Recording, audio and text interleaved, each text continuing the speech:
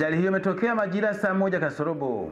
Kamanda wa polisi mkoa wa Mwanza Mlilo Jumane Mlilo akiongea kwa njia ya simu na Star TV amethibitisha kuwepo kwa ajali hiyo. Lakini ni kweli e, kuna, kuna mtu mmoja amepoteza maisha ambaye alikuwa e, pembezoni kabisa mwa barabara ambaye alikuwa na, wanafanya hii biashara ndogo ndogo e, na wengine u, watu kama uh, saba wamepata majeraha, wengine wanaongea, lakini tunachokifanya ni kuwakimbiza kwenye hospitali ya Bugando e, kwa ajili ya matibabu.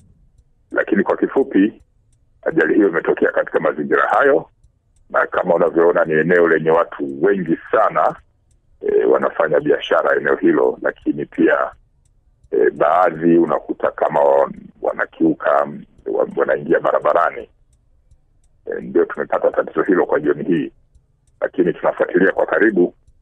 E, hizo ni taarifa za awali. Baadhi ya mashuhuda wa ajali hiyo wameelezea ajali ilivyotokea. Gari likawa linamlazimisha huyu dereva kwenda upande wa kushoto ambapo ndio kulikuwa kuna watu wengi, lakini kwa ujumla alijitahidi kwa kiasi chake kulikontrole gari angalau kwenda upande wa kulia. Shuhudia hapa, mimi kama machinga mfanya biashara wa hapa, kuna mmoja wetu muuza viatu naye amegonga katika kwenye hii ajali. Wa ajali hiyo amepelekwa katika hospitali ya rufaa ya Bugando kwa ajili ya matibabu na mtu mmoja aliyepoteza maisha bado hajafahamika. Wilson Elisha, Star TV, Mwanza.